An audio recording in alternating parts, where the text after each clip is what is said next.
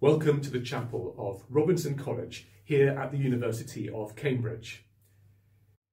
This is our first service of 2021 and today we're delighted to welcome Reverend Al Sharpton. Al Sharpton has been a civil rights activist for decades. He is the founder of the National Action Network. He's a fellow Baptist minister and in 2004 he was a candidate in the US presidential elections. His new book, Rise Up, is a sophisticated and lively engagement with many of the issues that we face in the modern West. And we begin our interview with a reading that surfaces at various points throughout that book. The reading is taken from a letter to a church in Ephesus, where the recipients are exhorted to take their stand against the spiritual forces of evil in the heavenly realms, by which Sharpton understands some of the hidden hierarchies and the political ideologies that quietly sink themselves into the psyche of the modern mindset.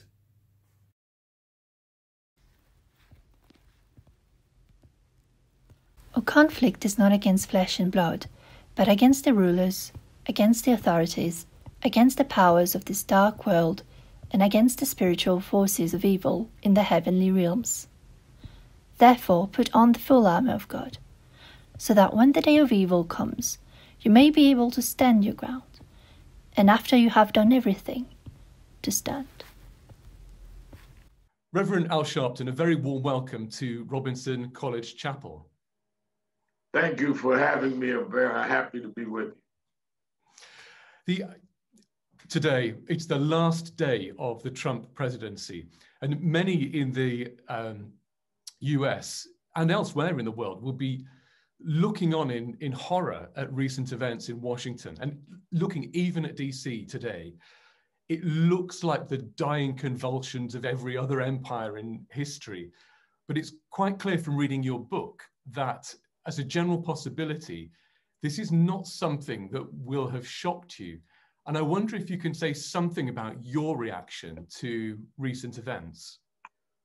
My reaction is that I clearly uh, felt that uh, the Trump presidency would be a calamity.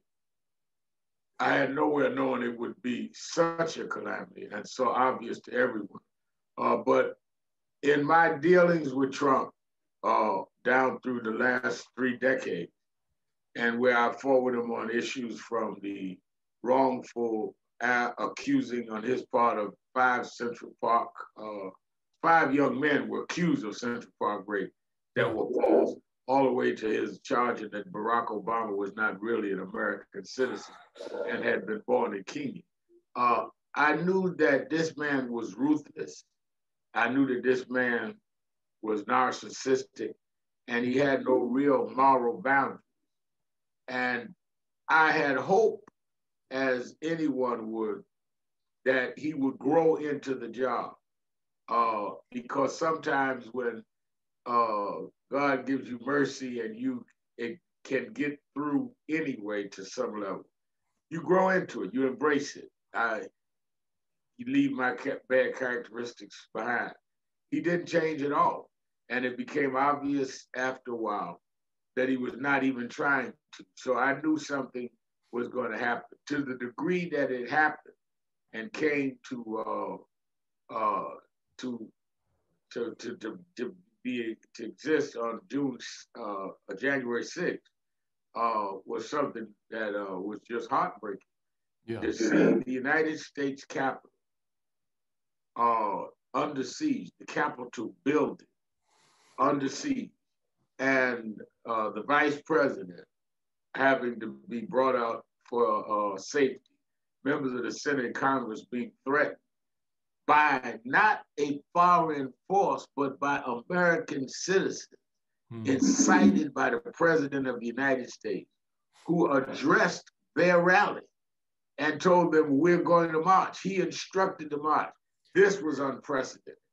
So even I, who have a very low opinion of Donald Trump, didn't think he would be that low.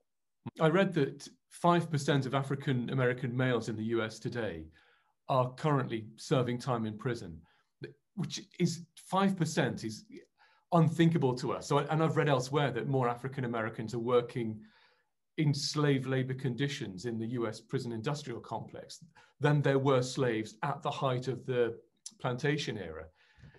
And there are those who present Biden as a zealot for the prison industrial complex.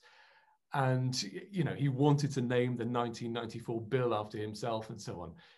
And Kamala Harris, she pulls out of the presidential race when Tulsi Gabbard confronts her on her complicity in jailing citizens for trivial offenses.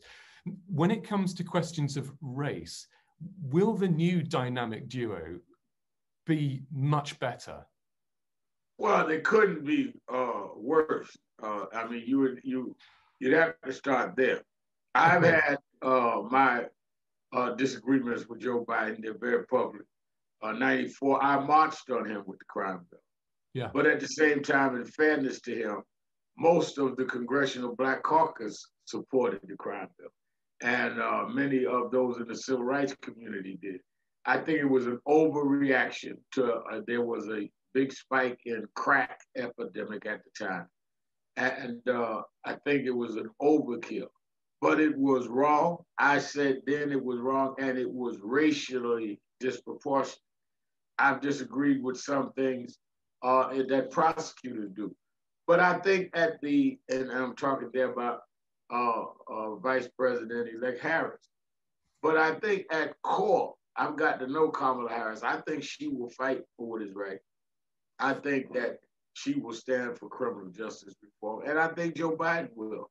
Uh, just like I disagreed with him in '94, I worked with him for eight years when he was Barack Obama's vice president. I had reasonable access uh, to the Obama administration, which put me in a room several times with Joe Biden and he stood up. He was the one that I was present that fought uh, for LGBTQ rights. He was the one that was there. In fact, we were seated next to each other when President Obama announced the police uh, uh, reform task force. So I think he grew, and I think he's become more sensitive. He's reached out. We met with him, uh, the heads of seven national civil rights organizations. Uh, met with him virtually uh, about uh, three weeks ago. Usually, a president waits until they're inaugurated to meet with civil rights leaders. He met uh, uh, in advance of his inauguration to send the signal that he's open. So I think that he's going to be open. I think that uh, Vice President-elect Harris will be open. Not to say though that we're not going to hold them accountable and that we're not going to be pounding on the door and pressing them.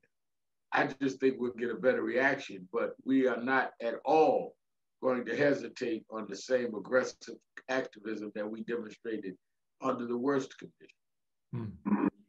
So there are grounds for hope then, significantly in comparison with the previous administration. I think there's grounds for hope, uh, and and that hope. Uh, I think there's there's significant grounds for it.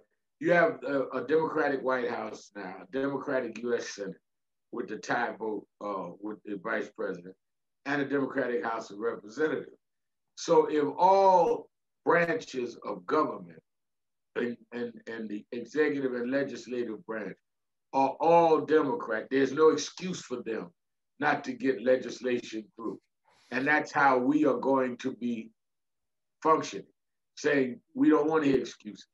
And uh, I think that that gives us an opportunity to press and get some things. It's a nice way of saying it, I think. Um, not having an excuse, because you, when we talk about the Democrat Party today, um, I can't help think of one of the phrases that you have coined, um, latte liberalism. It's it's a very widespread condition, I think, in the UK as well as the US, I suspect. And can you expand a little on what you mean by latte liberalism? Latte liberalism are those that sit around and drink lattes and talk great social policy, but don't enact it, don't put any, what I would say, skin in the game. Uh, they, they're great at ideological and philosophical discussion. They are very bad at execution. And I think that that is why you have to have activist groups like uh, Nash Action Network, which I have, and other groups because latte liberals will, you know, they'll they'll tea party you to death, but will they change the laws and will they enforce the laws and will they put the necessary pressure on those laws? And that's where uh, I, I think uh, those of us that are real have to come forward and put pressure. Um, I can't help thinking then of um, it's Rabbi Abraham Joshua Heschel who said that indifference to evil is worse than evil itself. Uh, it's one of those quotations that liberals like to throw around, but actually, what you're talking about is whether or not you get as far as putting into action the principles by which you claim to live. You know, uh, I, I, I, wrote about uh, Heschel. I referred to him in my book because I met him as a, as a very young oh, man. Really? And uh, yeah, I was uh, I was youth director of Operation Breadbasket when I was 13 years old, which was a division of Dr. King's organization. I was appointed uh, the youth director of the New York branch the year he was killed. I was 13, and uh, I became for a while a mentee of Reverend Jesse Jackson, who was the national head, and he brought me to the Jewish Theological Seminary, and I met Heschel, and I was like 13 or 14 years old. In fact, Heschel gave me a, a lot of his books, and uh, down through the years, I reread them. What made Heschel significant, when I hear a lot of people quote Heschel, is Heschel went to Alabama and marched with Dr. King. Yes. Heschel would write uh, members of Congress. So Heschel would then sit in an ivory tower, removed from the struggle. He engaged the struggle, and it was a struggle of blacks. So when mm-hmm. Heschel would deal with the uh, uh, atrocity of two Jews and a black, Goodman, Chaney, and Schwerner, killed for going south to help blacks register to vote, he did it as one who actively were involved. You have many today that are quote Heschel from ivory towers, but never come out of the tower and never deal with the racial imbalance in the tower from which they sit with. of course, yeah these blind spots, I guess, are, are endemic with the condition that you write about. Um, the one of the phrases I've read from um, Chris Hedges is the phrase boutique activism. And be, because activism itself has become a trendy thing, we want to be perceived as activists. But, and I think that the danger in activism just being trendy is that you want to appear to be active. You want to appear to be an activist with no strategy and no end goal. So it's the goal is the trend, not the achievement, not the change that you need. Mm-hmm. And and we've got to be aware of that because if we're going to protest, if we're going to march, and nobody has done more than me, what is the goal? Yeah. And how do we fashion the protests and fashion the march that will lead to that goal? That's why uh, last August, August 2020, uh, Martin Luther King III and I, National Action Network, had the big commitment march uh, on Washington, over 200,000 people. And it was difficult because it was a pandemic. We had to get face masks for everybody, it cost a lot of money, took everybody's temperature, but we put 200,000 people around the uh, reflection, uh, the reflection pool that uh, the Lincoln Memorial where his dad had done 57 years earlier. But we said the goal is the George Floyd uh, Justice and Policing Bill, uh, which had passed the Congress, sitting dormant in the Senate because Mitch McConnell did not uh, put it on the floor. Well, now that uh, we have a Democratic majority, Chuck Schumer becomes the new majority leader. Chuck Schumer spoke yesterday at National Action Network in uh, Harlem, our headquarters, for King Day, and committed he's putting that bill on the floor. Suppose if in our march in August, when we highlighted that the George Floyd's families there and other families of victims, if we had had a riot, or if we had had uh, all kinds of uh, incendiary rhetoric, we would have felt better that we got our rage off our chest and it would have trended. But we would not have been in position for a Schumer to identify with the bill because it would have been beyond what some Democrats and some Republicans in the Senate would entertain. So, what's the goal? And how you protest must match and accommodate your goal. Otherwise, you're just trending, you're not protesting. That's very interesting. I mean, the uh, I was picked up on that in the last interview I did with um, this is Amitav Ghosh. The, the fact that his novel makes you want to do something still makes it about you, not about the other, the people absolutely who you're concerned and, and about. that's why that's why I always challenge people is not what do you want to do, what do we want to achieve? Because the achievement removes the personal ego and the personal uh, agendas out of it. We're all going to have our egos anyway. We're all going to have our agendas anyway. But let's have the agenda be something achievable and then let your ego be part of, I got this achievement done. I, uh, uh, let your agenda be, we get this achievement done. Why do we remember Dr. King? Why do we remember Mandela? They achieved things. There were people that had a much more militant style, an aggressive style. We don't remember them because they did not achieve things. Mandela led a movement that did bring down apartheid politically in South Africa. Dr. King led a movement that did bring down Jim Crow in America.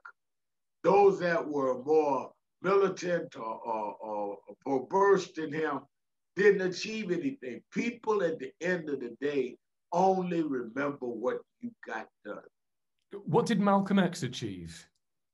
I think Malcolm X achievements was different than King. He was able to uh, bring about a realignment uh, of pride and self-identity in our community. Uh, I think uh, Dr. King dealt with the external social and legal impediments. Uh, I think Malcolm's was uh, where he dealt with the internal uh, insecurities and inferiority complexes that have been imposed on. Mm. So I think we uh, needed both. It's not one or, it's both and. I think that where it is wrong is to compare the two because they were doing two different things. Yeah, exactly. Malcolm was about building the uh, self concept of a people that had been broken. Dr. King was about breaking down the barriers in society. And you need both because if you didn't have the legal barriers broke down, you could build your self concept and still be limited by the reality of the social order. If you did take care of uh, of uh, of all of the uh, barriers down that Dr. King did and didn't have a self concept, you still wouldn't use them even if they were free to you. So you needed both of them. It's great. It's interesting to hear you talk about the multidimensional nature of this struggle because we still measure people on a two dimensional spectrum and trying to place you on that spectrum between left and right, it's not possible. And I, I wonder if you might say something about your role in the political nexus of what's happening in the US today? Well, I think I come out of the Black church. I come out of the civil rights king like tradition which is grounded in the Black church. And I believe in uh, nonviolent direct action to achieve legal and economic uh, parity and equality. Now, any given time of the political climate, that could be considered left or right. And I think that that I don't get caught up on where I fit. I get caught up on what I believe if you've got a demonst- uh, uh, an administration in power, be it national or be it in uh, local situation. I may be to the left of them or the right of them, but I will never be where I'm not in aligned with what I believe and have represented all my life. I think that's what happened to Dr. King. Uh, Dr. King was considered a radical. Then, as the Black Power movement started and people started talking more self-defense, he was considered more centrist. And even to some of them would say to the right. But what he was was consistent. And I, I don't believe in this uh, taking the temperature to find out what's fashionable at the time. Oh, I better go here because the left is over there, or I must appear progressive. No, you must appear consistent and that's based on what you believe. And I, at the end of the day, uh, people that try to fit me somewhere are doing something that I don't try to do for myself. I'm not trying to fit. I'm trying to be effective. One of the things that you say in the book, you talk about coming from the mud. I mean, that's a polite way of saying the, the kind of thing that St. Paul said about the disciples and the early Christians. Uh, and he used a much cruder word. But um, on the one hand, you've got that side of the narrative, you've got the massive meta political stuff, but you are also going into the mud again. So when there's a moment of crisis or disaster or outrage, you go into the cities, into the situations, into the families in moments of profound pain as a figure from outside. And I, I wondered, can you say something about that experience, about being? I think that uh, down through the years, when there's been a racial killing or a police killing or denying of a business contract, people will call and I'll go. Uh, I've never gone in any situations, including George Floyd, that I would not ask to cover. But the difference is I'll go. I don't care how prominent I have become. I don't care if I got a TV, radio show, I go. Because people need to be engaged where they are. And you should not speak for people that you don't speak to. And you must just by going affirm that they are of worth, that all of us ought to be rallying around them because you push society by saying they can't be marginalized. So when George Floyd's family called me last summer, standing up for George Floyd is to stand up for getting a police bill that will stop this from happening. George Floyd was a regular poor guy, third ward of uh, uh, Houston, Texas, that was trying to redo his life recreated circumstance in Minneapolis. He was no special mm-hmm. person, but he was the victim of a special institutional sin in law enforcement in this country. And that is they could do whatever they want and get away with it. And that's why I went. I think our job, particularly those of us that claim to come from a faith-based background, is that you can't preach healing and don't go to the afflicted you can't talk about that uh, uh, there's a balm in Gilead and don't go to those that need it. And I think that if we are followers of Christ, Jesus did not send a word to those that were afflicted. He went and healed the afflicted. He met the woman at the well. He healed Bartimaeus' eyes. He fed the hungry. How do we follow Jesus and we have this kind of remote control Christianity where I'll hit a button and you may be able to get it? No, I need to go and embrace you and help you in your point of injury to know that healing is real. Otherwise, I don't believe in myself. Well, that, that brings us to the final question, if I may. The, uh, this is our first chapel service of 2021. Um, I don't know how different 2021 is from 2020, uh, but I wonder what challenge as a Baptist minister you might issue to students here at the University of Cambridge. I think that uh, my challenge to them would be that uh, I could not predict any more than you have uh, just stated what 21 uh, brings uh, or will bring to us. I could not have predicted what 20 would bring. There's no way that January of 20, I would have been able to predict a pandemic or George Floyd, Breonna Taylor, and the rest that happened in the state. Hmm. So what you must do is you must firmly and unapologetic affirm what you believe and why you feel that you are on earth to represent those beliefs. What is the purpose of your life? What is the meaning of your existence? I do not believe that God made anyone by mistake. There is a reason all of us are on the planet, young or old. The reason that we're here, there could have been any number of reasons that your mother didn't give birth to you. She did. That was a divine decision. what was the purpose God had for us and seek that purpose. And if you have those inflexible thoughts of your purpose in your mind, what will happen in 21 is secondary to what you bring to 21. I don't know what 21 is going to bring to me, but I know what I'm going to bring to 21. I'm going to bring a firm commitment, a firm purpose.